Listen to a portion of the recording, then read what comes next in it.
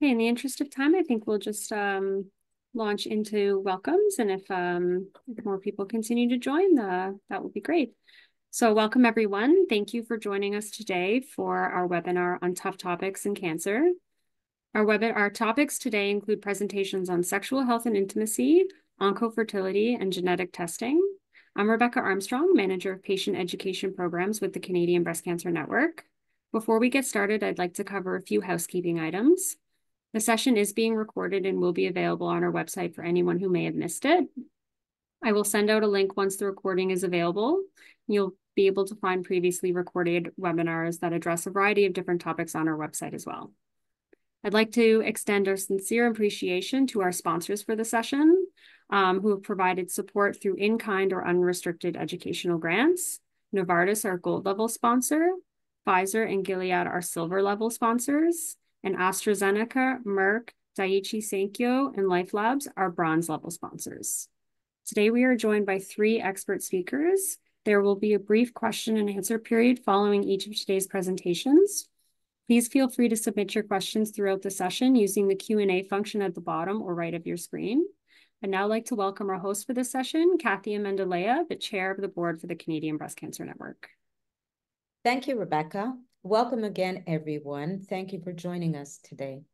I am pleased to welcome and introduce our expert speakers, Dr. Melanie Altas, Dr. Jeffrey Roberts, and Don Siciliano. We are very, very appreciative of the time our speakers offered to the patient community by joining us today.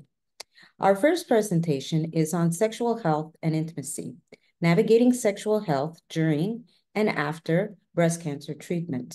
Dr. Melanie Altas is gynecologist and sexual medicine physician. She is director of the BC Center for Vulvar Health. As a consultant for BC Cancer, she specializes in providing care for women with sexual medicine and menopausal concerns during and after cancer treatment. Welcome, Dr. Althaus. Please Thank you, Kathy. It's um, it's my pleasure to be here today and um, to talk about one of my favorite um, one of my favorite topics. So I'm just going to share my screen so we can dive right into everything. So, my talk today is on exploring sexual health and intimacy um, following a breast cancer diagnosis. And this talk could, I could actually do a full day workshop on this talk. But um, what I'd like to do over the next um, 20 minutes is just um, cover some of the impacts that breast cancer, the diagnosis and treatment can have on sexual health and relationships, and also to provide you with some information to help get you started in, in addressing um, in addressing these concerns. So, sexual health is actually so important that the World Health Organization has put out a statement saying that sexual health is fundamental to overall health and well being of the individual, of couples, families, and even, um, even communities. And um, so, this we know that sexual health is very, very, very important to, um, to quality of life. So, breast cancer, um, as you likely know, is very common. In Canada, there's almost 30,000 um, new diagnoses per year. And we know over a lifetime, about one out of eight to 10 women um, will be affected personally by a breast cancer diagnosis. And we also know that treatments are really, really effective. Um, so we need to really come up with some ways to address some of those quality of life issues um, that can have a long lasting, long lasting impact. So you likely know this, but there's actually there's been a lot of studies that have shown that the incidence of altered sexuality in people with breast cancer is very, very high. It's long lasting and it can significantly diminish quality of life for both um, the individual as well as their, their partner. And I put up, this is likely not a surprise to you, but when I give this talk to physicians and other providers, this is actually a really common expression that I'll see. And many physicians um, who work within the breast cancer community are really surprised that they may have gone their entire career um, treating breast cancer and they've never asked about sexual health or they've never had someone ask them about sexual health. Surprisingly shocking. So, how are we doing in addressing this high incidence of sexual function? Well, we're not doing really well. And there's been, um, this may have been your experience, but there's also been a lot of research that has proven that we are not doing really well in addressing this. There was a recent study published in the last um, in the last year where they looked at a different type of cancer where they looked at gynecologic cancer. So this would be ovarian cancer, uterine cancer, cervical cancer, and they felt that they found that 90% of patients felt that they should have been asked about their sexual health, but more than 50% were not asked about sexual health. But those who were asked, close to 100% found it really helpful. So what are the barriers or why why aren't we doing well? So we can divide these into what I would say are patient barriers and then also physician or provider barriers. So when we look at patient barriers, we can divide this further into self or kind of internal, inward looking factors and then external factors. So the self-centered factors would be a, a person's belief about their own comfort, their own ability, or even their own responsibility in discussing sexual health. So this would be um, a situation where someone would say, I don't know. I don't know where to start. I don't have the words to describe what I'm feeling or what I what I need. But the patient can also have um, external barriers or more physician-centered barriers. And this would be where they're unsure or even fearful or intimidated by what the provider's reactions to discussing sexual health may be. So this may be something like, you know, I'm afraid my physician may react negatively. I'm worried about offending them, or I'm worried that they may become embarrassed. So I'm I'm just not going to ask. We're gonna we're gonna avoid it for now. But then there are physician barriers as well. There are um, time constraints within our current healthcare setting. We don't allow a lot of time to discuss quality of life um, issues. And especially now, I think everyone knows across the country our healthcare system is in a significant crisis. But we also know that physicians, nurse practitioners, nurses, they don't get a lot of um, education about um, particularly women's sexual health in their training. And I know that from going through residency and medical school here in Canada, that there was minuscule amount of time dedicated um, to women's sexual health and also to menopause. But there can be a lot of assumptions or what I'd say would be unconscious biases about who sexuality is important to or about a patient's sexuality. And this is where things like age, culture, religion come into play, or even the stage of the cancer. So if someone has advanced cancer, metastatic or palliative cancer, that sexuality is probably not important to them. And these are all this lack of education, this awareness, this lack of language and knowledge and unconscious biases. These are all things that um, that are manageable and that we can address. And that's what I'm going to do for the rest of rest of the talk is give you some introductory language skills and education. So many of you have heard this quote by Francis Bacon that states knowledge is power. But there's a lesser known quote by an economics professor named Robert Bryce.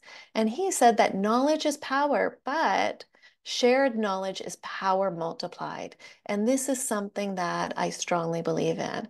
I see on a day-to-day, um, day-to-day basis in my practice where um, I work at the cancer agency here in Vancouver and I work with people who have been through a cancer diagnosis and treatment. And I can um, easily see on a daily basis the impact of education and knowledge and language has.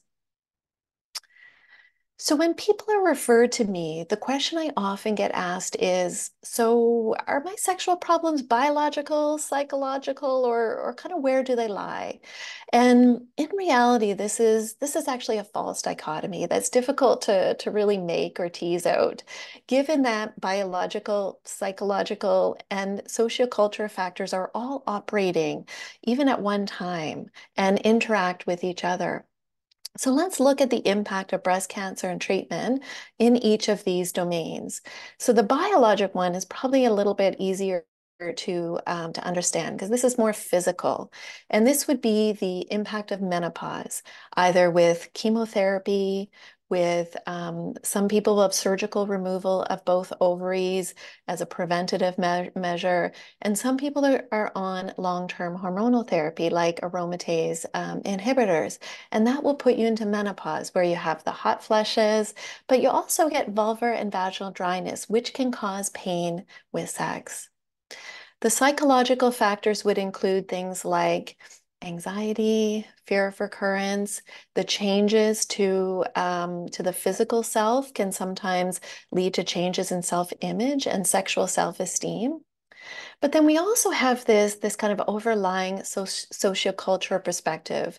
And this is, by, by that, I mean um, the role that we that society believes people should play in relationships or the way that relationships should be from a sexual perspective.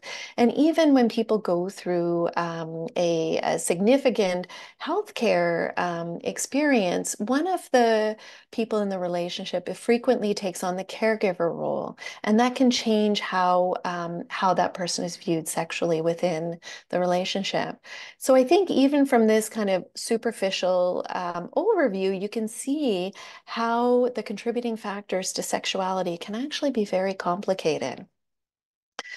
So what I'd like to do is just pull out one of those biologic factors that I talked about, and we're going to talk about the impact of menopause on vulva and vaginal health. And by this, I mean vaginal dryness and subsequently painful sex. So when people go through menopause, they have a decrease in estrogen in their body. And estrogen is responsible for making the, the tissue in the vulva and vagina healthy. So making it thick and plump and stretchy. So when the estrogen decreases, then we, the tissue can become thin, easily irritated, and it's not going to stretch as much. So this may cause day-to-day -day dryness and difficulty with sexual, um, sexual insertion. When people are on aromatase inhibitors, this decreases the estrogen in the body even more. So the aromatase inhibitors will put you into a more severe menopause. So I like to divide this approach into um, kind of what I call in the moment. So what are things that you can use during insertional sexual activity that can help? And this is where we come to lubricants. The most common lubes that people use are water-based lubes. So if you went into a pharmacy and you looked at the shelf, that's what you're going to see is water-based lubes. But when you're talking about a water-based product, not all of them are created equal. And you have to take into account two properties of water-based product, which are the pH and the osmolality. And for many water-based products, those pHs and osmolality are not conducive to helping with the pain people experience in menopause. And if a product is hyperosmolar, which many of them are, that means when it's put on the skin, it's going to draw water out of it. So in the long term, it may make it um, make that dryness worse. So around the time of menopause, this is where I'd ask people to explore using silicone or oil-based lubes. And those are really good for people who are experiencing dryness, rubbing, or friction, um, friction sensation. Then the next um, area to look at is not in the moment, but what can you do as maintenance or prevention? And this is something that would you would use on a regular basis, like you use moisturizer on your hands or on your on your face. And there are really good non-hormonal products that are out there. And the ones that I'd encourage you to explore are the ones that contain hyaluronic acid. And you may have heard of hyaluronic acid before because this is what dermatologists use like for face wrinkles. And it works really well in the vulva and the vagina. It does the same thing. So this would be something that you would use on a regular basis. And some of the hyaluronic products are Gynatrof, Repagyn, May, Feels Amazing. So those contain HLA and um, plus or minus vitamin E. Using those on a regular, a daily basis, two to three times a week, can really help to thicken that tissue and increase that stretch stretchability. And I find about 50% of women who use this on a regular basis will be really happy with it. So this was kind of just an overview. I covered a lot of stuff. Um, and what we have actually done at, on my website, my team's website, so we're at the BC Centre for Vulvar Health. I've put our web address up there. We have patient handouts. And under the patient handout section, you can see there the second one down is breast cancer and sexual health. And that's where I've talked about basically in more detail what I've covered on the last two slides. One thing I do want to touch base on, though, is estrogen. And when I mention estrogen in breast cancer, this is the reaction I usually that I usually get. But um, for those 50% of women who maybe don't respond to the hyaluronic acid products or the non-hormonal products, it is very reasonable to have a discussion with your physician about using what we call topical estrogen. So that's estrogen that's used in the vulva and the vagina. It's absorbed into the vulva and vaginal skin. It doesn't get absorbed into your into your system. And there's been a lot of decades of research that supports the safety of using topical estrogen in breast cancer patients. This is a statement um, put out by the American College of OBGYN that talks about um, the safety and the use of estrogen in breast cancer patients. The um, Canadian Society of OBGYN has a similar statement, and so does the North American Menopause Society. So all of these societies, among many others, support the use or having that discussion about using topical estrogen for breast cancer patients. So let's say that we fix that pain, that dryness that you're experiencing, and I ask someone that I'm seeing in my clinic, so if I fix this pain for you, if I make intercourse um, not as painful, will you be sexually happy? And for some people, they say absolutely yes, but there are some who kind of look at me like this and like, um, I'm not really sure. I don't have any desire. I don't have any sex drive. And so I'm going to spend the next few slides going through how sexual desire works in women and how that is actually tied in to people who are experiencing painful sex. So when we think about sex drive or libido, what we commonly think of is what we see in the movies or we see in the front cover of books or in magazines, where desire is this spontaneous, this urgency, this craving that just comes up out of the blue. And that's not actually what happens in real life for the vast majority of women. There are some women who will experience desire in that way, but the vast majority do not. And so, one thing that I start off doing is explaining to people how desire works for the vast majority of women and how dryness and painful sex can play a role and impact desire. So what we're looking for in, um, in the sexual response cycle is starting from a place of what we call neutral. And this doesn't mean apathetic or numb. It means that you're open, you're willing, you're receptive, but maybe you don't have that craving or that urgency right away.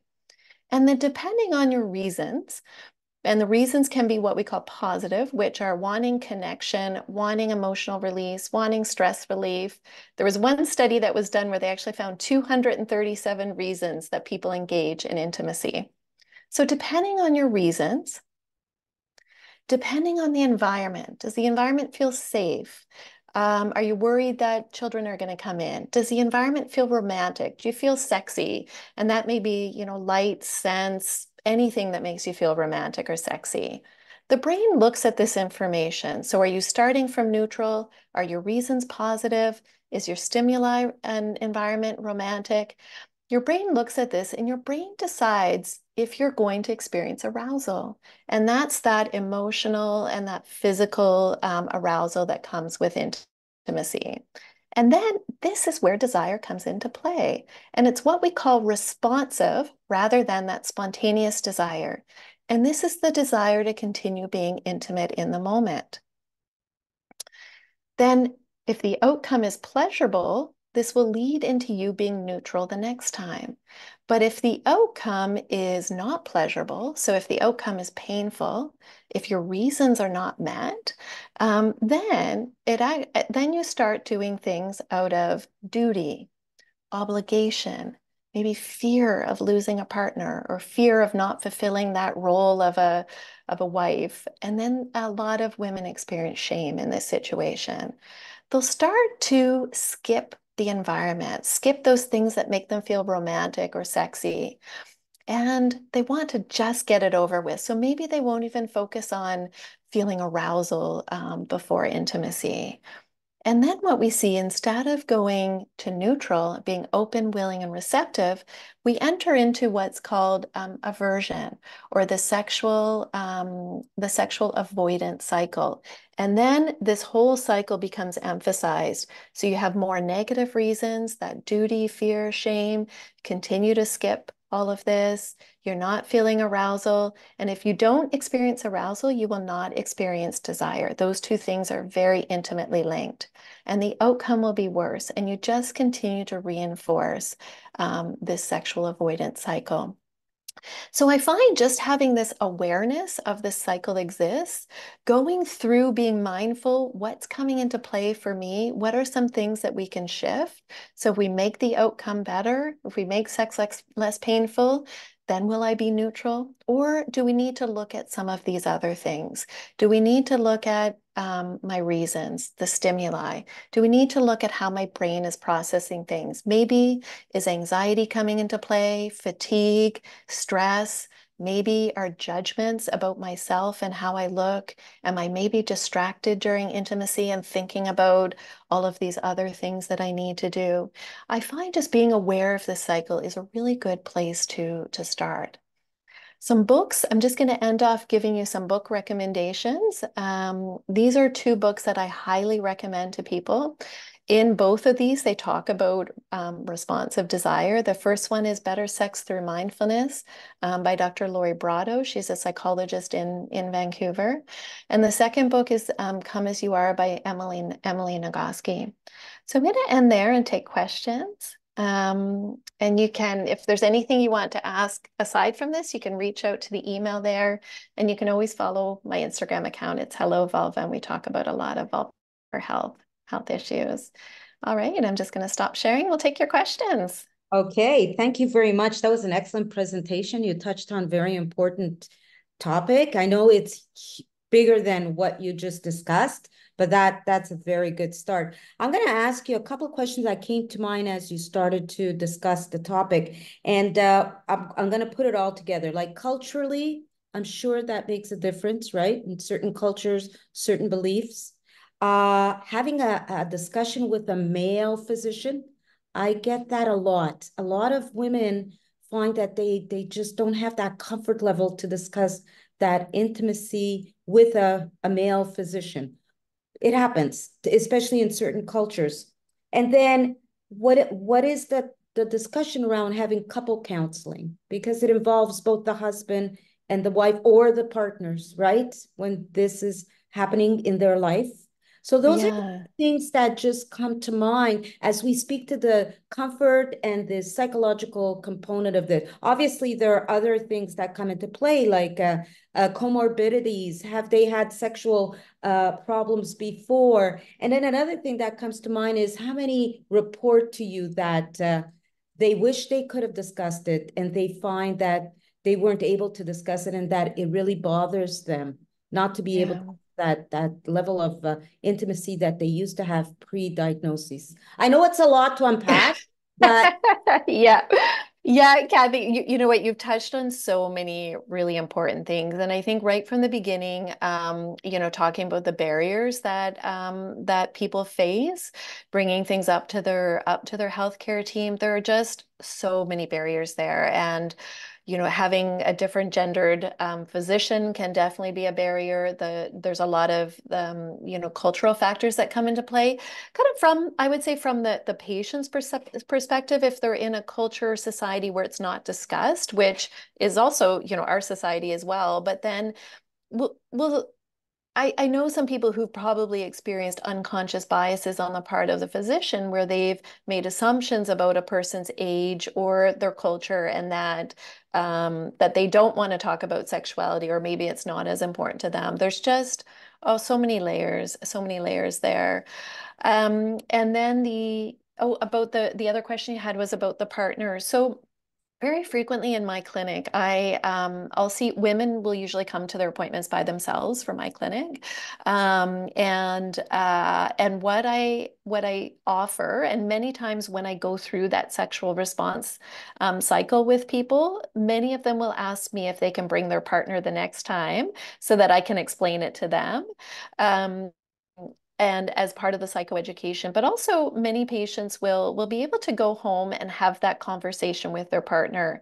And that's one of the things that I encourage in my clinic is just, you know, obtaining that language and the knowledge to be able to talk about sex because um, usually people don't talk about sex until it becomes a problem and then um, and you know in our society our sexual education in schools doesn't teach us how to talk about sex in that way we're very focused on stds and, and contraception and not talking about um, about sexual problems in that way. So it can be a new a new experience for many people. I find um, what where I would recommend couples counseling early on would be if if I felt there was a lot of conflict in the relationship. So um, maybe a lot of resentment um, on either side, and that they needed more of a like psychological professional to help with that. Um, that would be something where if they wanted to work on the relationship, a couples counselor would be highly recommended in in that area. Um, and then uh, definitely, I think um, many, many, many patients out there would wish that their um, would wish that their care team would ask about um, about sexual health. And it's actually something I do a lot of um, educational events for physicians, and and that's requests for me to speak have increased significantly over um, I would say the last year and a half. So I'm doing a lot of talks um, for people. And part of my talks is to give the physician the language, like how do you, in a neutral way, ask about sexual health? And then, even if you don't know what to do, how can you answer that question and give them resources?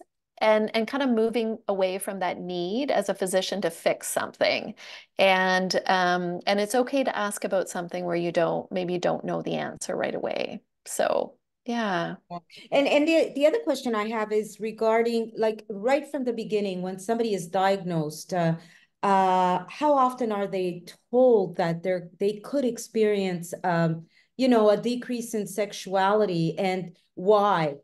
Medication, this may cause you know some issues of you you know and psychologically uh, of course that that really comes to to mind really really in the front because uh, women are afraid of recurrence. They're afraid of, uh, th that's in the back of their mind. Having pleasure for the first little while might be something that they're even afraid to experience because they're so uh, grateful to have overcome the first step of having had the diagnosis. So it, I think it, it would be important that they get this discussion with either a nurse pivot or or some multidisciplinary team member that would be able to go into detail on how this could affect. And if they'd like to know more, they can ask questions. Yeah, absolutely. And I think, you know, a common question that comes up is in in kind of the medical community is when is the best time to have this de detailed discussion. And certainly at, you know, at the, the beginning of the appointments before the treatment has started, many people feel that's not a good time because people are so focused on just getting rid of the cancer. And um, but then when do you tell talk to people about the potential impact of the the treatment? And how can you phrase that in a way that is um, is impactful and people can retain that knowledge and then at a later time go into go into detail um, when it's appropriate for that patient? And and maybe even do we have to you know in medicine we kind of have these very standard algorithms you know we do one two three and four. And maybe is there a way to introduce individualization there? So is there maybe someone on their first appointment, maybe they want all that information, or maybe someone doesn't want it until they're totally sure that the cancer is gone from their body. And can we individualize that? That would be that would be ideal for sure. Great, yeah. Great, great, great response. We have a question from Dr. Roberts. Oh, yeah, Dr. Altas, fantastic talk. Um, appreciate yeah. that. It's uh, for sure uh, under uh, under discussed for sure. Uh, and I'm guilty of that through the fertility practice for sure. It's just you have limited time and that doesn't come up. Of course, in case there's not sperm getting in the uterus, that's usually how it comes up with uh, with me. But yeah. is there is there uh, and we've tried to develop one for fertility as an intake for AYA uh, for fertility, and I think we came up with a question of for patients, are you interested in future fertility? As a way to Mhm. trigger the discussion. Yeah. Um, is there something that, uh, as a single sentence or something I can, we can do as physicians to broach the topic? Because it's a difficult one, obviously, to bring up, especially if the partner's in the room. Yeah. Yeah. Yeah, I think, yeah, and you know, you're right, Particularly, you know, AYA or adolescent young adult cancer patients, these are, are really prevalent issues, particularly because they may not be in their kind of long-term um, relationship at that time. But um, the the question that I um, that I give during my talks is just to say something like, you know, it's really common for people um, who with breast cancer who have gone through this treatment will have concerns about about their sexual health. Is this something that you've you've experienced? And um, what's and so I see this this is happening more because I run the sexual medicine clinic at the Cancer Agency so then if someone says yes, then they just say, great, I'll refer you to Dr. Altas. But um, so I'm actually seeing, seeing, I'm getting more, like way more referrals now, which is great. So, so I think, yes, having that question, but then also we need to back it up. So physicians need to have resources because um, I think in the medical community, we get really uncomfortable when we don't know the answer mm or we can't fix something. So right. um, yeah. Yeah, it's yeah. good. Using examples, uh, certainly we use a lot, like many patients do this, and then it, it certainly yeah. it's a soft way of of uh, bringing it up rather than asking them, "Do you have that?" or "Do you yeah. have this?" Yeah, yeah, yeah. Yeah, okay. absolutely, absolutely. Yeah.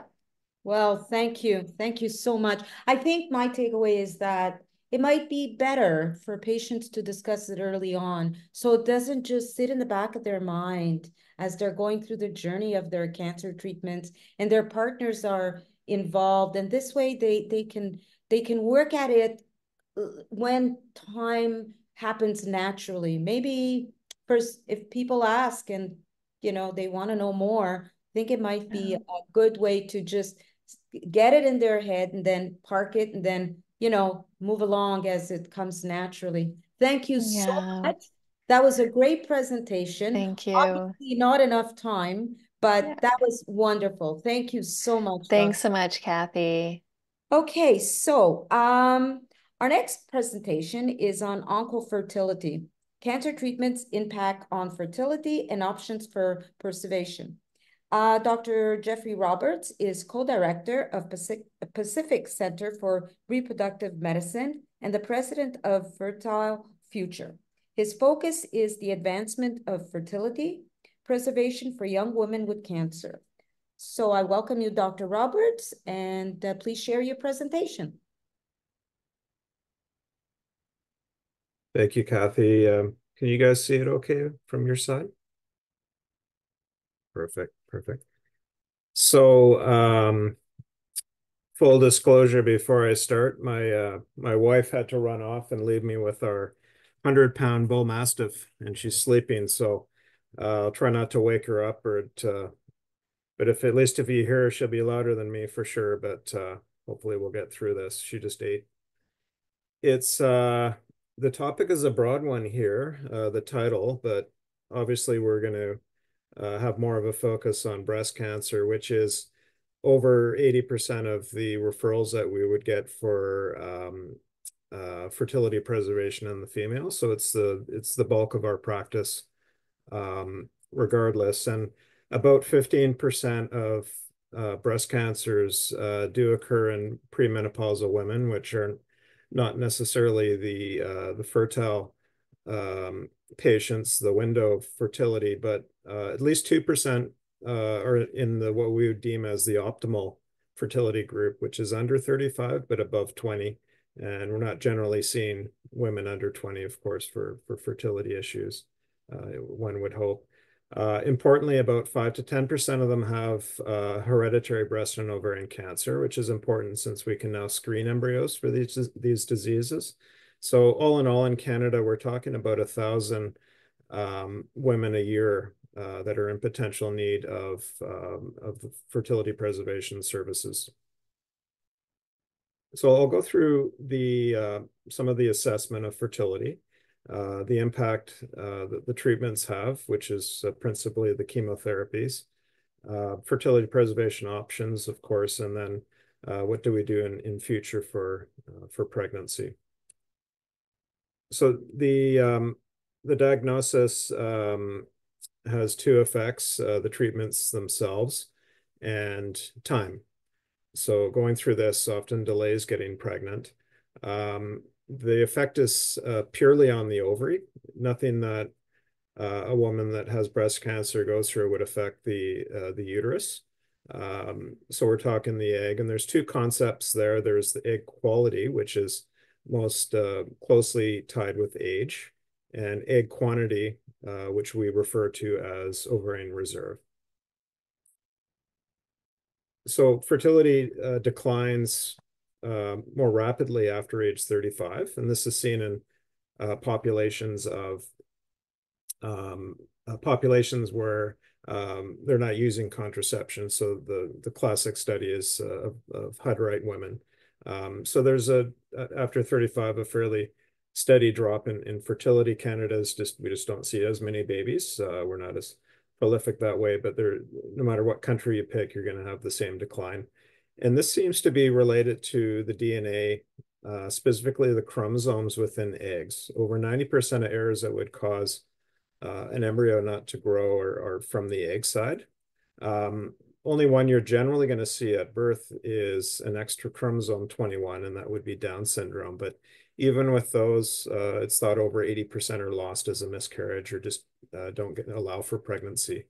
And now we're seeing uh, direct evidence through genetic testing of embryos. And this is the number of normal or euploid embryos uh, chromosomally uh, decline at the same time after age 35 with the same, same curve. So there's a lot of indirect evidence that we're dealing with uh, genetics. So in terms of egg numbers, we start out with around 6 million eggs and that's actually as as a fetus. And we start to lose eggs around 18 weeks uh, while we're still in our mother. Um, around birth there's a there's about a million. And by the first period we're down around 300,000 later 30s uh, around 30,000 by the time the period stopped we're, we're dealing with around uh, third, uh, 300 eggs. There's actually only around uh, 300 that are ovulated uh, through the, our whole lives most are lost for a variety of reasons chemotherapy uh, doesn't seem to affect the egg itself, but there's a drop in egg numbers suddenly. And breast cancer treatments are, are uh, fairly uh, toxic to the ovary, so there's immediate loss of eggs. And then the loss of eggs seems to follow the same trajectory. It's just logically with your eggs, menopause is going to occur earlier and likely uh, fertility issues. So there's two ways of testing for egg reserve. So when patients come in, um, they're almost always going to have at least these two tests to know how many eggs we're dealing with, sort of where where um, she is in her reproductive life.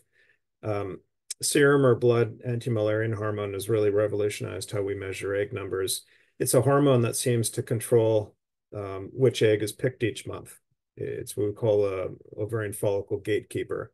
So it suppresses most of the eggs, there's hundreds that are selected each month. This hormone allows for one to be picked, uh, so sort of the strongest uh, follicle, uh, which is the structure that contains the eggs. It's the fluid-filled structure with the eggs. It's secreted by the supporting cells around the egg called granulosa cells. And the level, uh, importantly, seems to stay stable throughout the menstrual cycle. So you can come in at any point in the menstrual cycle and have this test done to know how many eggs we're uh, potentially working with and it seems to be the most sensitive of the markers and is affected earlier in life. So um, we get um, earlier and a faster uh, answer. The other is just to simply measure the size of the ovaries. The bigger an ovary is, the more eggs are in it. And we can count the up and coming egg units, uh, the follicles, as little black dots on ultrasound. And those are called antral follicles. So we just count those. It's called an antral follicle count. So we just tell the patients kind of looks like a chocolate chip cookie. Um, and uh, we want a lot of chips in there. The more more follicles, more eggs. Uh, assessed by ultrasound, and then we also get a, a sense of the patient's, patient's anatomy, which is important. Uh, we'll see why. So, what does chemotherapy do to the ovary? Well, the um, almost all uh, regimens would have what's called an alkylating agent, cyclophosphamide being the the classic one. Uh, those are called cell cycle non-specific uh, chemotherapies. They affect all cells. Um, vast majority of eggs are kept as what are called primordial follicles. They're the inactive uh, eggs within the ovary. So it has a direct effect on those, and that would be important because that's what can lead to ovarian failure. In, in breast cancer regimens, that's about 20% of patients that have that. Um, all chemotherapies, including the cell cycle specific ones, the ones that are more active at the growing um, cells, uh, affect the growing follicles logically. Uh, so these are the ones that are in the last few months of development and, potentially going to ovulate. So those are almost always affected, and that's why periods stop. So patients will often call worried that they're going into ovarian failure, when actual fact they just have this temporary loss of uh, menstrual function because of that. You lose the follicle, so we also lose that AMH hormone. So then there's no suppression or less suppression of the follicles, and you get a rapid recruitment uh, we call burnout. So once an egg has been selected and starts to grow, it's going to be lost. So it's thought that most of the eggs are actually lost through the loss of the inhibition. And once they start growing, they're eventually going to die off three to four months down the road. So what options do patients have? Well, the um, the focus should really be for for anything we do on conceiving naturally. So uh, anything we can do to allow for natural pregnancy is not going to just make it cheaper for the couple. It's also going to uh, improve on outcome. Uh, a natural pregnancy is considered a lower risk pregnancy. Uh, so being around us and doing treatments um, can ultimately increase your chances of pregnancy, but also increase risk. So the least we're doing is following uh, with fertility testing, counseling uh, to, to know how fertile uh, the patient is after going through treatment. So we, we will do serial testing. Um, it's nice to have a baseline, especially an AMH test before chemotherapy. They'll typically come back to us um, six months to a year after, and we'll repeat the testing and get a sense of what the chemotherapy did to the ovaries, uh, which is critical. Um, the other is uh, getting pregnancy uh, sooner than later. Uh, we call a interval pregnancy. So um, that can be done um, uh, at any point after chemotherapy is finished and allow for for breaks to get pregnancy. Uh, patients will come to us and we're often given timelines of a year to to get pregnancy. Um, so that that means the patients are younger and they have a higher chance of a natural pregnancy. So uh, that's of course case by case. Um, the other is to uh, if we can protect the ovary in some way to maybe make the chemotherapy less uh, toxic to the ovary, uh, and those are called GnRH uh, agonists. And those were used um, commonly in the past as part of the, the treatments for estrogen, um, ER positive tumors, estrogen sensitive tumors.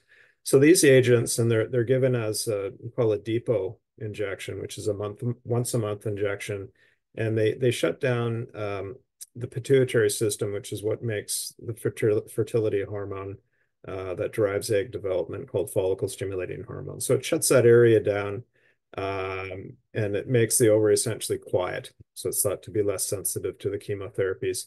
These agents were used in the initial trials and they found that um, the patients that were randomized to those treatments uh, had a lower risk of ovarian failure. So that's what tweaked us to their use. Um, proper trials, randomized trials show that uh, the risk of ovarian failure, which is um, loss of ovarian function because of uh, depletion of eggs, is reduced by about 50%. And that's true of both ER negative and ER positive uh, pathologies. Uh, no proven benefit in, in the lymphoma patients, which is the other uh, essentially 20% of patients that we see. And there's a variety of mechanisms that are thought to um, be at play here, but probably that it's just making the cells uh, quiet. So if they're less meta metabolically active, then probably less sensitive to the chemotherapy. And others like reduced blood flow, and there may be some direct effects there um, as well. The other is uh, fertility treatments in future. So if, if pregnancy is not help happening, then patients are coming to us as fertility patients. And um, one obvious uh, method, uh, still the standard method worldwide, is just to get the eggs out of the situation. So protecting them from the chemotherapy by by banking them in the lab, and that's through the process uh, called in vitro fertilization or or IVF.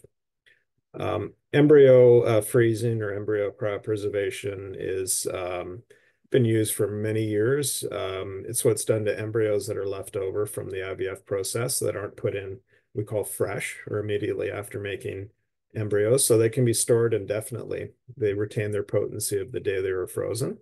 Um, requires ovarian stimulation and IVF. So we have to stimulate the ovaries with the only hormone that makes eggs, which is the follicle stimulating hormone from the brain. We give it as an injection and the patients administer it themselves.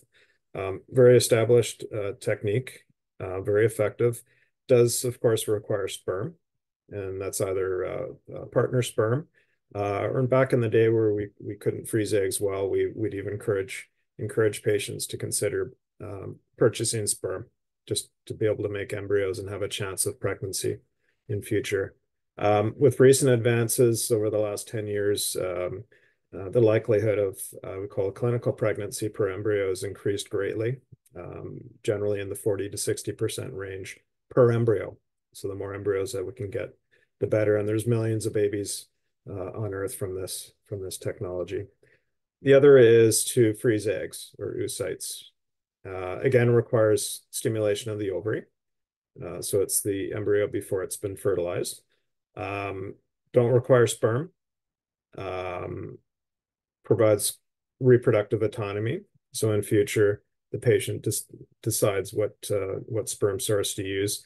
Does have some technical challenges of being a very difficult cell to freeze. They're they're large uh, and they're full of water. So just like freezing something at home, uh, would tend to explode unless you remove the water from it or minimize the amount of water. And so for these cells, you have to remove it through uh, we call cryoprotectants and replace that. But it's a, a very large cell full of water that's uh, not easy to prepare in that respect. Um, and there's fewer than a million babies born worldwide. It's just a newer technology and not not as uh, commonly applied um, because still a lot of patients are coming to us with with a, a sperm source. So how many eggs do we need to freeze to help? Um, well, this is all based on um, we call social or elective egg freezing um, information. So patients that come to us um, wanting to preserve fertility um, on an elective basis, um, average patient would present at exactly age 35. Uh, my experience, over 90% of patients are, are 35. And there's various models to determine how many eggs we need to freeze to give a reasonable chance of pregnancy in future. And uh, the benchmark is 75% chance of a live birth. So you can see as you get older, you need more eggs to get there. So if you have a patient over 40, um, we're generally not going to get that many eggs. It would require multiple cycles. And for, for the cancer diagnosis, we often have time uh, for a single cycle. But these are the models, and this is based on IVF data. Yeah but younger um, patients require fewer eggs, logically. So how do we do IVF? So uh, the whole process is about two weeks. So we need, uh, typically we'll give, be given a timeline from, from oncology saying, and most of us are on an email basis. So they'll say, you know, Jeff, you have to this date, we want to book chemo. Um, um, and we try to honor that date. It's difficult to change, and of course, we don't affect care. So two weeks is usually the, the timeline we we follow. Uh, during that time, um, we don't want estrogen. When we make an egg, it comes with a set amount of estrogen. So if I make 10 eggs, the amount of estrogen would be about 10 times higher than in a natural cycle. Um, no known effect um, clinically, but we just don't want to see it. So we'll use letrozole, which suppresses, as you may know, estrogen during uh, treatments. It's normally used for months at a time. We're using it just during the period of, of making eggs. So starting the process is giving, like I mentioned, the, the hormone follicle stimulating hormone and luteinizing hormone. So it's given for an average 10 days. The patients uh, inject that themselves. And then we follow egg development on ultrasound as follicles. So the size of the follicle will dictate um, whether or not the egg inside is mature. So they come in each morning, typically before work, early in the morning. At some point, we need to give what's called a, a GnRH antagonist, which protects those eggs from being ovulated. So we don't want them falling out. We want them to stay in. So these medications block the ovulation signal from the brain. And then at some point, we need to actually mimic ovulation, and that's with an injection called HCG. Uh, another one called a GnRH uh, antagonist, like we used for protecting the ovary, can be given as a single shot to mimic ovulation, and then the egg will think it's about to be ovulated. And then 36 hours later, we take the eggs out. So the eggs themselves think they're going through a natural cycle. They're taken out, fertilized, and then typically grown for five days before they can be used. And in a usual IVF cycle, they're put in. Pregnancy test is done nine days later, and then we follow them through pregnancy. Of course, for this process, they're not getting pregnant. We're freezing them as either eggs on the day that we take them out or embryos after five or six days of development. So that's an IVF cycle uh, in short. So the, the procedure part of it is uh, called an egg retrieval. So it's done as a, a transvaginal procedure. Um, when you make the ovaries large, typically they fall into the area called the cul-de-sac, just in behind the uterus. And we can get at that uh, with, with um, a vaginal ultrasound and then a needle alongside of it. Uh, and it's guided into the, the follicle. Um, that's uncomfortable, of course, having a needle in the ovaries. The patients are under sedation. Typically takes about um, 10 minutes to do. Yeah. The patients go home typically about an hour later. So the other option I, I mentioned here, uh, ovarian tissue freezing, um, kind of a big topic. Um, for breast cancer, it's not practically um, used. Uh, there is uh, concerns with the technology, uh, the least of which is it's not very effective. Um, very few babies born after decades of use. Um, there's a concern with breast cancer because it's a more systemic disease of reseeding the patient with disease uh, and also requires surgery to remove ovary. So it's not, not commonly used. So what about future pregnancy? Well, about fewer than 10% of patients actually end up becoming pregnant in future. And there's probably a variety of reasons for that. Some uh, of course, just don't want to be pregnant. Uh, there's that delay of time. Um, but um, but but many want pregnancy, of course, as we know. Um, seems to be safe to proceed with pregnancy at any point after chemotherapy, uh, even before initiating any sort of uh, hormonal therapies. Um, just getting pregnant and breastfeeding seems to be protective, although we may be looking at what we call a health healthy user bias, which is uh, just the healthiest of patients are conceiving. So it may be the other way around. Um, I don't think many of us believe that pregnancy itself is actually protective, but the eggs themselves, if you get pregnant from them, seem to be normal. There doesn't seem to be an increased risk of uh, birth defects or other issues with these babies born of uh, of the survivors. But um, for the most part, patients are asked to wait the two years to allow for um, surveillance of their disease. So if we have eggs and embryos um, we uh, we can put them back later through what's called a frozen uh, embryo transfer. Uh, and that's just preparing the uterus to accept embryos. Um, so that's either done through a natural cycle or we call a programmed frozen embryo transfer. Natural cycle is just using um, the natural cycle to prepare the lining and then putting it back on at a time that the embryo would normally uh, end up there. Uh, problem is a lot of patients do have some menstrual dis disruption because of the, the treatment. So we'll most commonly use what's called a program cycle, which is using estrogen um, either orally through the skin or, or vaginally to prepare the uterus. And we just try to, through various means, um, minimize uh, risks uh, medically and, uh, uh, uh, and, and with the cancer itself. Um, and then just briefly, um, we do have the ability to genetically test embryos uh, typically, this is done when patients come back after their diagnosis with BRCA would be the most common. So they're getting that later on after embryos have already been frozen. So we'll, we'll we are able to to thaw embryos and retest them for the disease. And then also for the uh, the the balance of DNA within the uh, embryos called aneuploidy. So we can pick embryos that are more likely to work, and importantly, ones that are unlikely to work. So if they come back as aneuploid or unbalanced, we don't use those ones. So between this and the genetic testing, we can get the embryos that are more likely to get them pregnant with a healthy child and minimize the amount of treatment in future. So if they're diagnosed with it, almost all patients I find test for for BRCA within the embryos. Of course, they don't want to pass along the disease. Yeah. And putting the embryo in is fairly simple. There's no sedation required. We have an assistant do an ultrasound of the uterus, and then we place an embryo catheter in, and we can see where the tip is and place the embryo at a very specific location at the top of the uterus. Um, procedure takes under five minutes. Uh, they go home and uh, they do a pregnancy test nine days later, and, and hopefully it works. So lastly, um, and it's something that's brought up in the initial visit with all patients is ultimately they don't have to do anything.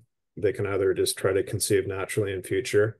They don't have to bank eggs and embryos, and most patients do not. But if for whatever reason they lose ovarian function because they've lost eggs, um, patients ultimately have the ability to uh, obtain uh, eggs from other women.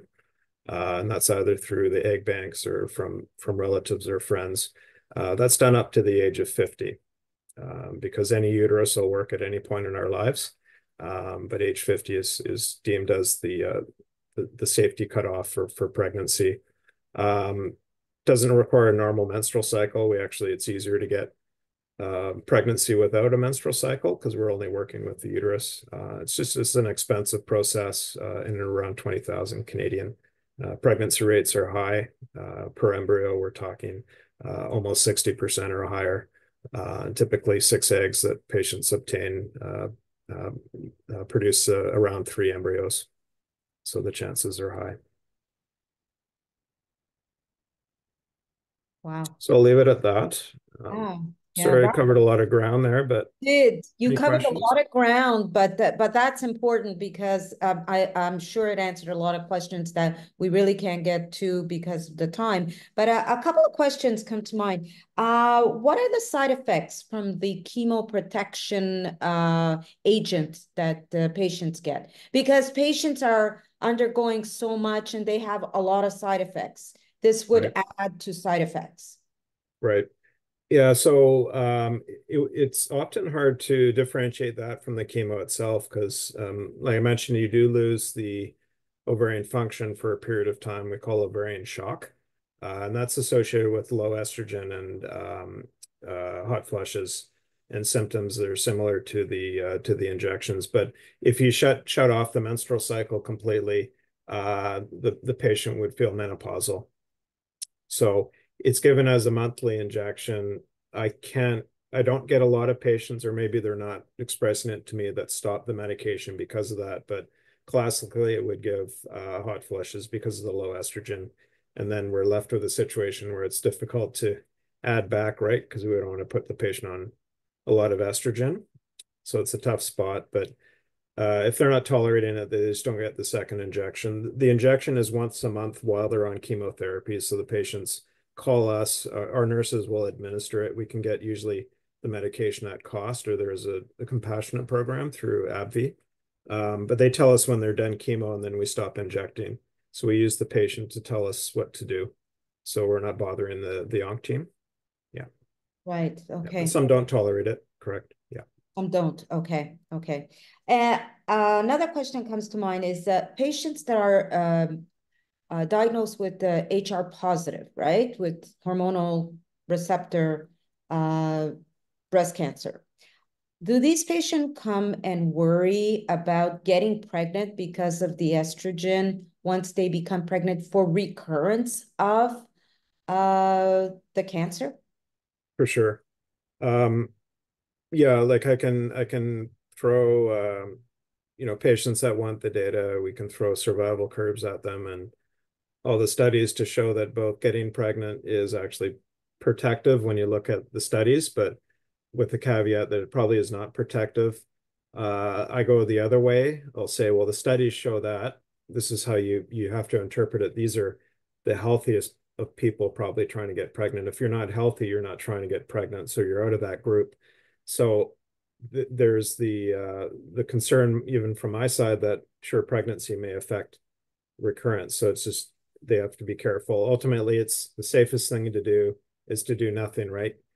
right. To not do any treatment through us and and to just focus on the the, the cancer itself. Um, but there's been a large uh, there's a large set of data now to show that going through banking is not associated with an increase in recurrence. So the treatments themselves are not. Uh, that's been looked at now fairly widely. But but yeah, there's the theoretical risk that we're stimulating cancer cells somewhere in her body And I, I never tell them that's safe, completely safe, that there's that theoretical risk. Yeah, and then it's their their decision, of course. Yeah, but they do worry. I think they all worry. I would I would assume. Okay, Yeah. okay. And that would be primarily with HR positive or all uh, biology? I actually assume and, and in our protocols, everyone's the same. So Okay. even if someone is ER negative, I assume uh, cancer is chaotic. I assume that they have ER positive tumor somewhere in their body. I, I don't think cancer is one or the other. Um, for sure, there's ER sensitive tumor in their body. I just assume everyone has it. Obviously, uh, ER, ER negative, uh, triple negative patients are treated more aggressively with chemo and have neoadjuvant more often or all the time. But um, but I assume that there's some estrogen there. So whenever we do treatment, we're always trying to minimize it or eliminating eliminate estrogen exposure. We call load.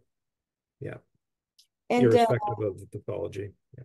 yeah, and um, during pregnancy, if a woman is on uh, uh, uh, tamoxifen or uh, you know, I guess it would be tamoxifen, not letrozole, uh, an AI.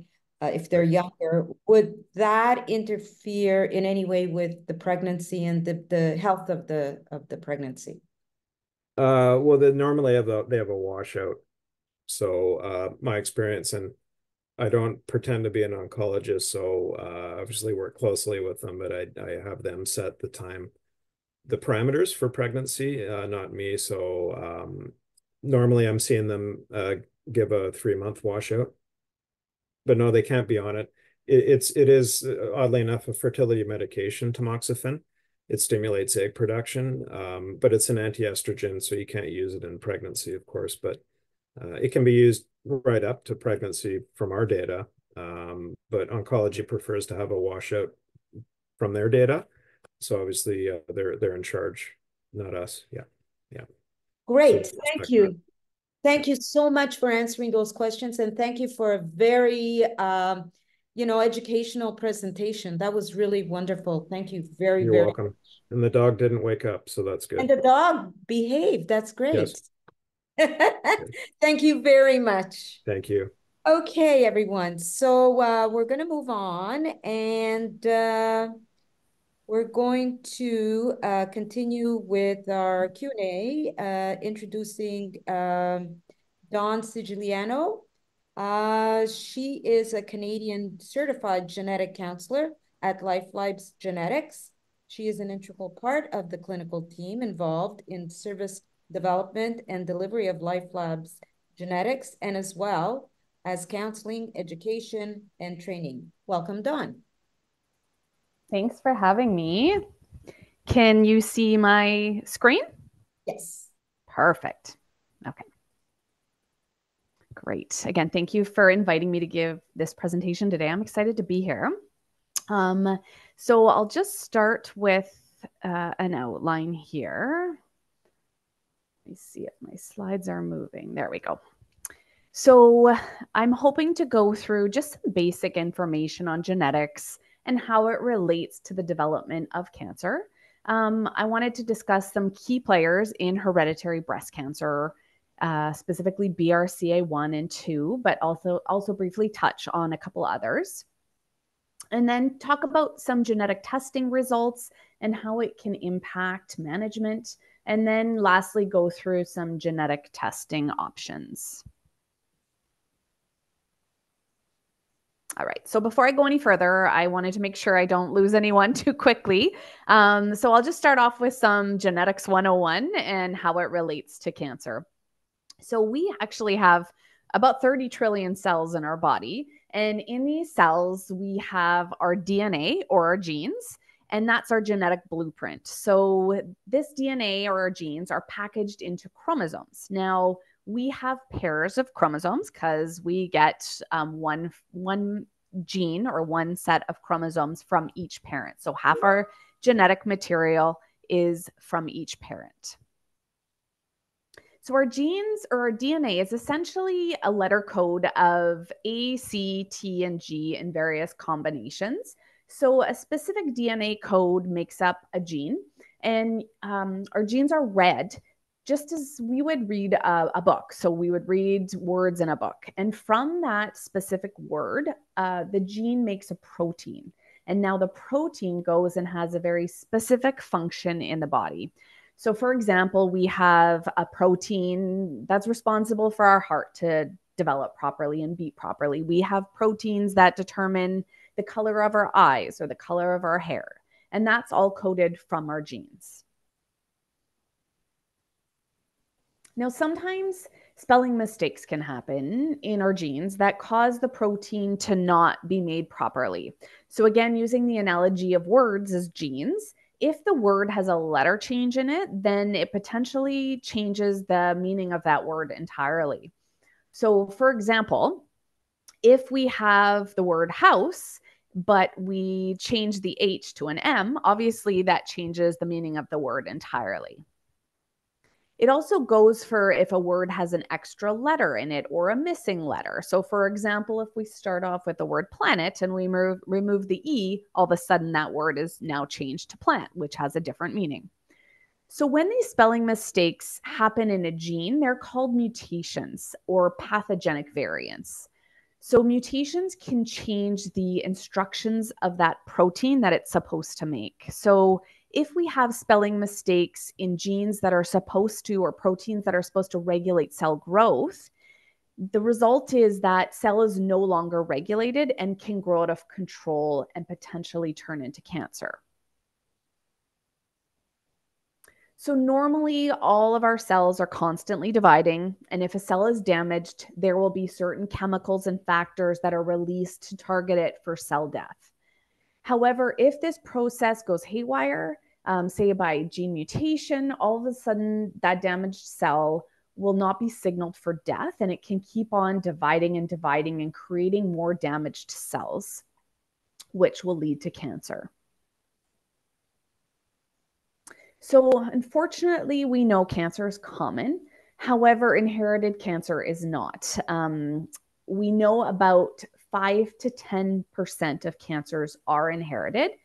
Now, all cancer is genetic, meaning that it involves gene or genetic mutations that happen over time in various genes, like I went through in the um, in the previous slide illustrations. However, only a small percentage of these cancers are inherited, meaning they're caused initially by a mutation in one gene that can be transmitted from generation to generation. So if we look at the majority of cancers first, they are sporadic. Now, sporadic cancers are called multifactorial conditions, meaning they're caused by several genetic factors plus several environmental factors that all need to come together to result in cancer development. We know some of these genetic factors and, or associations, and we know some of the environmental factors. But what we don't know is that how many of these factors are needed or the combination of them to result in cancer. Some of the environmental factors we know are certainly age, smoking, UV exposure, and the list goes on we use the analogy in genetics of a jar being filled to describe the multifactorial aspect of cancer development. So we're all born with some genetic predispositions. However, over time, we accumulate more and more environmental factors. And if that jar is filled to the top, that is the threshold where cancer will develop. And that's how sporadic cancer happens. So now I'm going to focus the remainder of my talk on hereditary cancers, which accounts for, again, the minority of cancers at about 5 to 10%.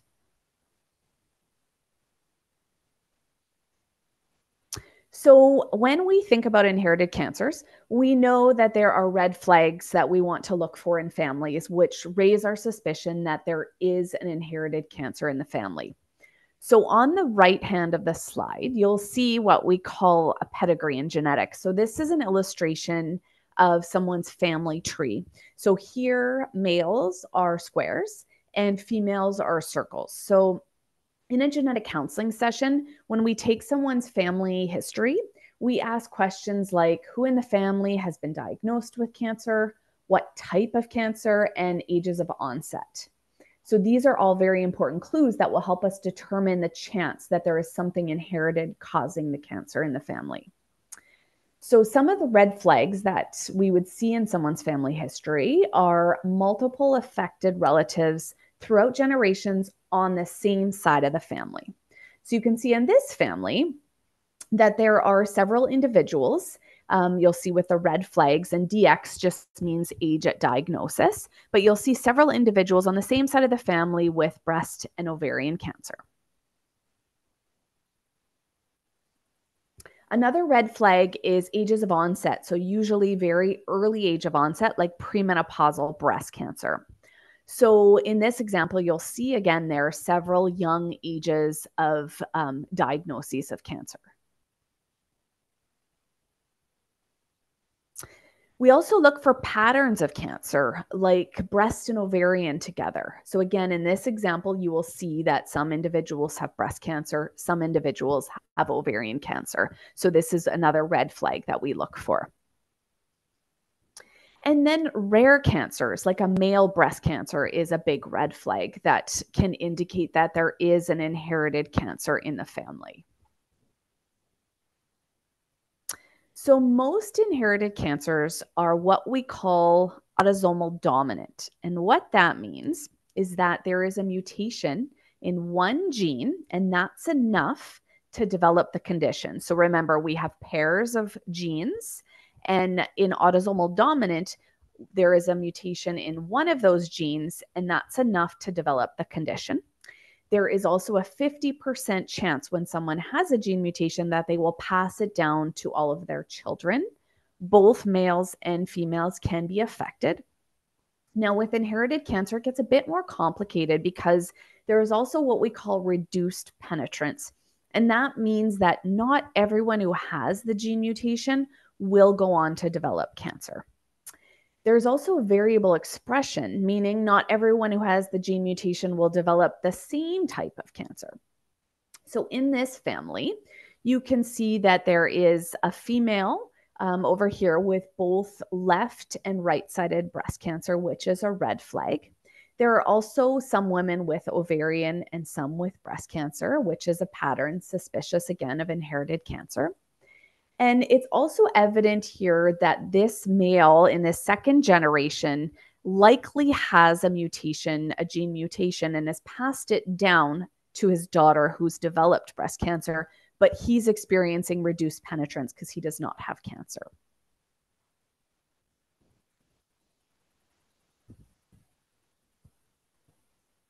All right, so let's now focus on the key players for inherited breast cancer. So BRCA1 and BRCA2, otherwise known as BRCA1 and BRCA2.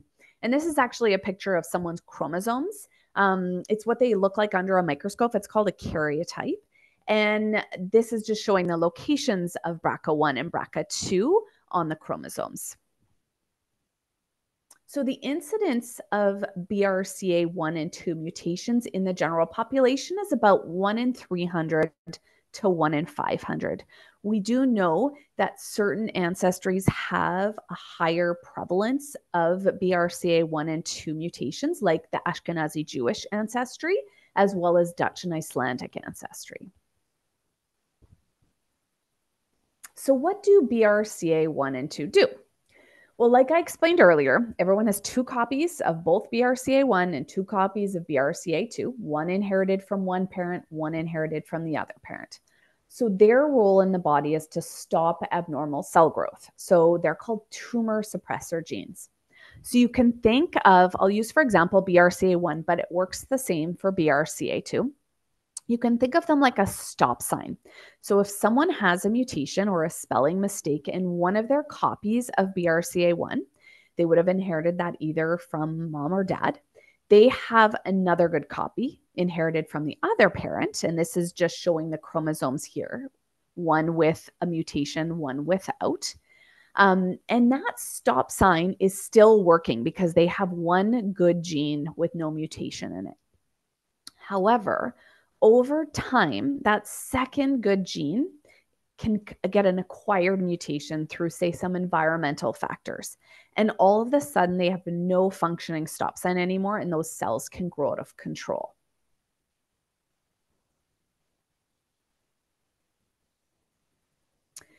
So as you can see in this diagram, if we look at the bars at the very left side, the general population risk to develop breast cancer is about 12%.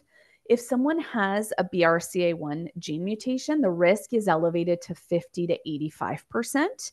For BRCA2, it's 40 to 70%. There is also a higher chance for these um, individuals who carry BRCA1 and 2 mutations to have a second primary uh, breast cancer develop. And that's also shown in the next bar over. And then other cancers that are known to be associated with BRCA1 and 2, where individuals, if they have mutations, are at increased risk for ovarian cancer, pancreatic cancer, and men are at increased risk of both prostate and male breast cancer as well. So, although BRCA went into account for a significant proportion of hereditary breast cancer syndromes, there are also a, a few other key players out there. You can see here in the yellow part of this pie chart that most genes that are involved with hereditary cancers are not yet known. However, out of the known causes, BRCA1 and 2 definitely account for the majority. Now, this slide is a little bit dated, so there's certainly more, uh, more genes that we know are involved in hereditary breast cancer that aren't listed here. Um, for example, I have a current hereditary breast cancer panel that's available um, that includes most of the um, common genes associated with breast cancer, although the ones in the orange are much rarer than BRCA1 and 2. So let's move on now to genetic testing. So, one thing to point out here is that genetic testing is always most informative to start in someone who has cancer as opposed to someone who is a relative, like an unaffected relative. When an individual undergoes genetic testing, which usually um, involves being tested for a panel of genes, like I showed in the previous slide, there are three possible outcomes of results. One is a negative, two is a positive, three is a variant of unknown significance. For negative results, there are true negatives and uninformative negatives, which I'll go through um, here now. So, a true negative is when we already have an identified gene mutation in the family. So, say someone with breast cancer has had genetic testing, we have found a BRCA1 mutation. Now, if an individual in the family um, gets tested and tests negative, we know that that is a true negative, as we know the cause for the breast cancer in that family. And that individual who has a negative result is at general population risk now for developing hereditary cancers associated with that gene. And there's no further recommendations for surveillance or management aside from general population screening. Now, an uninformative negative is usually what we're dealing with in the majority of cases. And this means we did not find a cause for the breast cancer in that individual or family. Although this can be reassuring, we recommend current management based on the individual diagnosis or family history. Now, a positive test result means that a familial mutation has been identified. If the individual being tested has cancer, that is very likely the cause of their cancer. And this would impact treatment potentially and also screening. And it could also allow other family members to have testing. The last type of result is called a variant of unknown significance or a VUS. And this is when a spelling mistake is seen in a gene but we don't know if that spelling mistake causes disease like cancer or if it's just a biological normal variant that doesn't actually cause disease. For example, we all carry changes in our DNA that cause us to be unique, cause us to have freckles, cause us to have curly or straight hair, but these don't, these variants don't cause disease. So it's really important before considering genetic testing to think about the benefits and limitations of genetic testing as it's not a one size fits all and not everyone needs or wants to be tested. So this is where genetic counseling can be important when considering testing. So, some of the pros to consider would be it can identify if you're at high risk and provide further options for management. It can identify people in the family who are not at risk. It can help make lifestyle decisions. It can help relieve anxiety by just knowing. Some of the cons to consider are the possibility of unclear results. Um, the results indicate a probability, not a certainty. Insurance issues can come into play in various countries. However, we know that that is not a concern in Canada because we do have a bill passed. So, genetic um, insurance companies can't ask about genetic testing. And then there's also the concern about anxiety, emotional distress, or impacting family relationships with genetic testing. So, I just wanted to touch quickly on some misconceptions of hereditary cancer, which we often hear about. So, sometimes we hear, you know, people say, or healthcare providers say, cancer is not on the father, or cancer is on the father side doesn't matter, so it doesn't count. And we we do know that that's false. It can come from either side of the family. We also hear that ovarian cancer is not a factor in breast cancer risk, but we do know it's an important indication of hereditary um, risk, although it's not always present. And we also hear the most important thing in a family history is the number of women with breast cancer. Certainly, it's age of onset that's the most important. So, moving on to some um, results interpretation, screening, and treatment. What can be done if an individual finds out they have a BRCA1 or 2 mutation or another mutation in one of these other genes? So there's several options for the management of both breast and ovarian cancer risk. Now, specifically for breast cancer, there are high risk screening protocols like mammography and MRI alternating every six months, as well as breast exam, both self breast exam and clinical breast exam, chemoprevention options like tamoxifen, and then surgical options like prophylactic removal of the breasts, which we know decrease the risk of reduction um, by 90%. We know that removal of ovaries and fallopian tubes can reduce the risk by about 50% for breast cancer. So there are certain options available to individuals. So, now what are some options for genetic testing? Well, every province has a hereditary cancer clinic or a general genetics clinic that will have their own criteria for who is eligible to have genetic testing. And these are specific guidelines developed in the province. Now, in general terms, someone, if they have a 10% or more chance of finding a mutation in that family, would qualify for testing. And these risks can be calculated using publicly available algorithm tools that are based on personal and family history.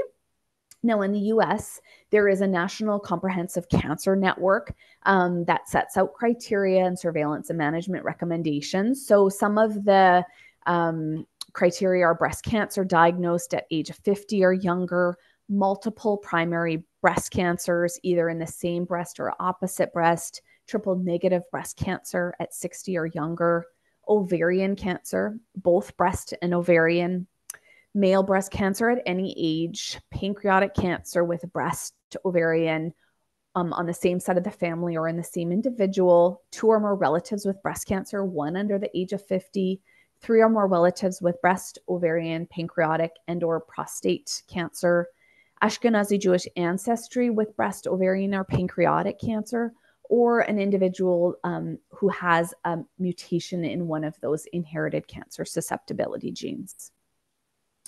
If someone meets criteria to be seen at the provincial inherited cancer clinic, um, unless that person has cancer and needs testing to determine treatment, the wait lists wait lists are unfortunately atrocious. Um, we know that some provinces the wait lists are up to five years. So you know this is unacceptable, um, but it is the reality.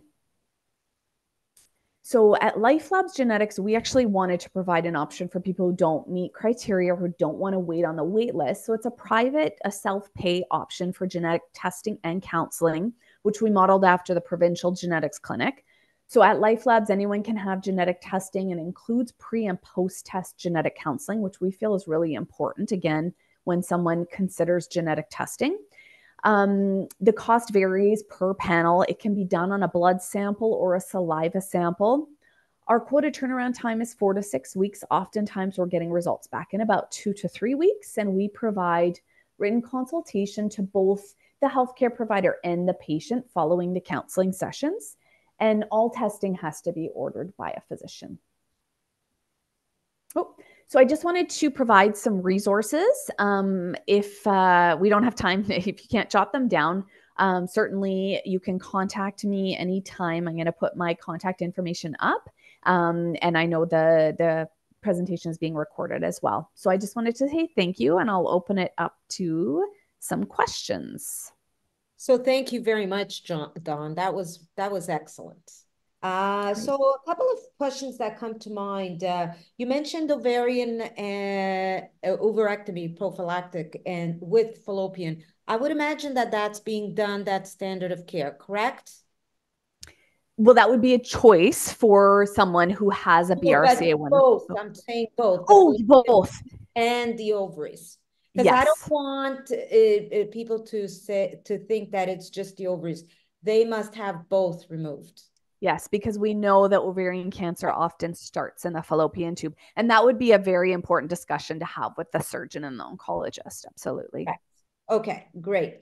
And uh, in terms of, uh, you know, the misconceptions, uh, BRCA1, BRCA2, father, mother, yes, there's a lot of confusion around that. So would you say that the BRCA1 and BRCA2 is to identify which family member passed down the gene so that they can address family members in that uh, parent? And, yes. So. And, the, and the treatment and the and everything else will be treated the same, whether it's BRCA1 or BRCA2, correct? Yes, yeah. So the the to try to find out what side of the family it is, we encourage both parents if they're living to get tested just so we can start, you know, help the individual um, identify and communicate that risk to other family members. Yeah. And uh, I would say, in terms of getting the genetic testing, obviously the uh, Life Labs has, you know, uh, great resource, and people can can go to that. And uh, would you say that there are other um, genetic testings that people should be aware of that are not the same as being tested in labs such as yours? Yeah, that's a good question. Um, like recreational testing facilities, something like 23andMe, um, they have, you know, the ancestry, but they also have the health assessment um, information, and they do include uh, BRCA 1 and 2. Um, however, just to be cautious of those because they're not a clinical test. And for example, they're only testing for a handful of these mutations in BRCA1 and BRCA2. They're not sequencing gene from start to finish. So if you are told that you have a negative result, that is not a full test that you're getting as well as it's not a certified lab. So we don't know how accurate those results are. So I would always highly recommend if you're going the private route um, to either get some information from a genetic counselor or a geneticist or a specialist on where to go. Life Great. Labs does have the option for anyone to contact a genetic counselor. It doesn't cost anything. Ask to speak with a genetic counselor at Life Labs. We could always let you know you know, various labs out there or your provincial lab, provincial clinic to be referred to. Great, thanks. So on one of your slides, you identified the uh, most commonly uh, diagnosed, uh, the Ashkenazi Jewish population, and you said unique French Canadian. Is that because it's not the same as the BRCA? Why do you identify it differently? So those are unique mutations in that group. So French Canadian population have very specific mutations that we see in BRCA1 and BRCA2. So again, if you did testing generally at any provincial health clinic or through Life Labs, we're actually testing the gene from start to finish. So we're looking for any mutations that can be apparent. But if you're doing something like 23andMe again, they're only testing for a handful of mutations. So you might miss the French Canadian mutations in there or a different ancestry, what their mutations. You can kind of think of it again like a book, whereas life labs or the provincial health clinics are sequencing. So if BRCA1 is a book, the lab is sequencing from start to finish of that book, every chapter, every word. Whereas something like the recreational labs, they're only looking in chapter one, chapter five, and chapter nine. So you could be missing other things. And how commonly known is it that there is a French Canadian mutation across our country? And do physicians uh, know to ask about that genetic testing? Not typically, but if again, if you're ha- if you're a, a person of a French Canadian population and you're having testing at any reputable lab, um, you're going to be tested for those mutations. And they're going to actually take your, that's when we take a family history, we always ask the ethnic ancest- ancestry background of each side of the family just to give us clues. But we're actually testing gene from start to finish. So we'll pick up any mutations that are there. And so one final question, because we're coming, we're running out of time. We can go on for a long time. Uh, you mentioned saying that once one person is tested and it's negative, it's negative. But cancer can be in your body for a long time. You may not have it today. You may have it, you know, years to come. Now, the, the thought is if it's negative today and you're 30 something, is it possible that there could be a switch in terms of that gene becoming positive and do we recommend being retested? Great question. So that is not true for what we call germline mutations. So inherited mutations you are born with, and that does not change. So if you have a germline test for, say, BRCA1 and 2, and it's negative, that will not change in your lifetime. What can change is those sporadic cancer mutations. So in your tumor specifically, or in tissue, you can acquire mutations in BRCA1 or 2.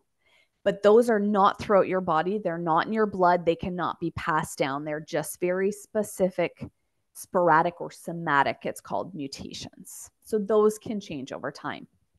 Thank you. That clarifies. Thank you very much. We're coming to You're the end welcome. of the session. That was excellent. And again, this concludes our session. Once again, thank you to all our guest expert speakers. It was phenomenal for sharing their knowledge with us today. Thank you again to our sponsors, Novartis, Pfizer, Gilead, AstraZeneca, Merck, Daiichi, Sankyo, and Life Labs Genetics. Following this session, you will get a link to complete a survey to provide feedback on this session. Please consider leaving feedback as this helps us improve future sessions for attendees like yourself. Everyone have a wonderful afternoon and thank you very much.